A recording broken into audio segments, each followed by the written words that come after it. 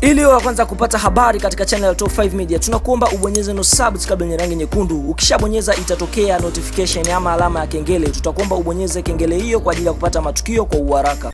Naoza wa timu ya soka ya Coastal Union ya Tanga, huyu si mwingine, anaenda kumwongelea Bakari Nondo Mwamnyeto. Amesema kuwa kama e, mazungumzo yakienda vizuri, basi atatua Yanga siku zijazo.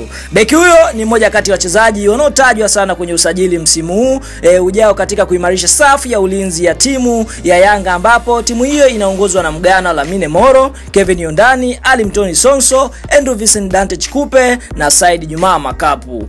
Ali beki huyo alikuwa anawaniwa vikali na timu ya soka ya Simba iliyokuwa na mipango ya kumsajili katika kuboresha safu yao ya ulinzi inayoongozwa na Pascal Sejiwawa, Erasto Nyoni kabla ya kushindwa e, kwenye dau la usajili ambalo ni shilingi milioni mia.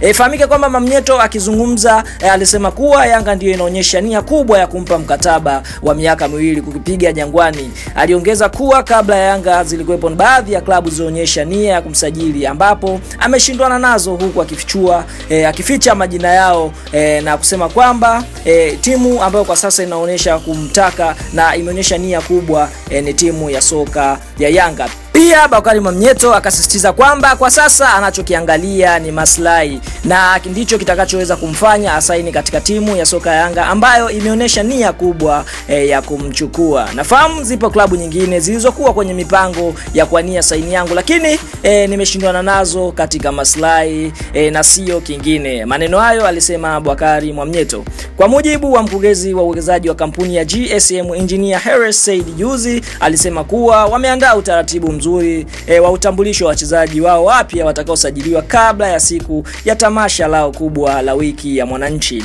ambayo wataitumia kuwatambulisha wachezaji wao watakao kuwaniwa e, katika msimu ujao. Na ifahamike kwamba lengo letu ni kuona tunafaidika na mauzo ya jezi mpya kupitia wachezaji wapya tuliowasajili kama ilivyokuwa kwa e, BM ama Bernard Morrison ambaye mauzo yake ya jezi ndiyo yanaongoza kwa usajili uliopita. Maneno hayo alisema Harris Said, e, mwekezaji mkuu ama mkurugenzi mkuu wa kampuni ya Chapa GSM. Kwa sasa Yanga ni moja kati ya timu ambayo e, imehusishwa sana kumchukua Bakari Mwamnyeto na Mwamnyeto tayari ameshafunguka kwamba Yanga ndiyo timu ambayo imeonyesha nia nzuri na kwa sasa e, muda wote anaweza katua Jangwani. Ukiachana na ishu ya e, Mwamnyeto, tumeona tena kuna mchezaji Twisila Kisinda, naye ni mmoja kati ya wachezaji ambao wanawaniwa na timu ya soka ya Yanga na unavyoambiwa mpaka sasa hivi dili limekwenda fresh, na kuna mchezaji mwingine striker kutoka Lion Sport anafahamika kwa jina la Michael Sponge, na pia dili la usajili linaenda fresh. Ukiachana na ishu hiyo, tumeona tena Yanga wakihusishwa kumsajili Saidi Demla e, kutokea katika timu ya soka